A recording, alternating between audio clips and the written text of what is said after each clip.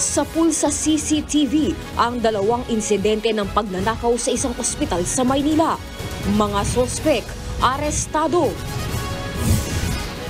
Kaso ng Japanese fugitive na si alias Luffy, hindi raw makakaapekto sa nakatakdang Japan trip ni Pangulong Bongbong Marcos. At kilalanin ang tatlong iba pang kasama sa komiteng bubusisi sa PNP officials na naghain ng kanilang courtesy resignation. Yan at mga balita at impormasyon hatid ng inyong kasangga sa pagbabalita. Frontline Pilipinas, mamayang 5 p.m.